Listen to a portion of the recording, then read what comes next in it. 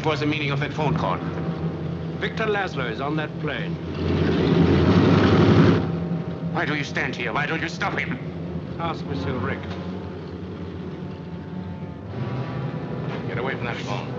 I would advise you not to interfere. I was willing to shoot Captain Renault, and I'm willing to shoot you. Hello. Put that phone down. Get me the radio tower. Put it down.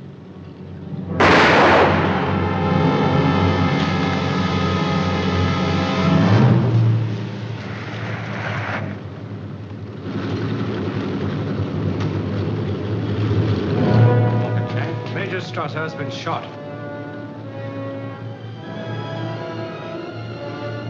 Round up the usual suspects. Capitaine.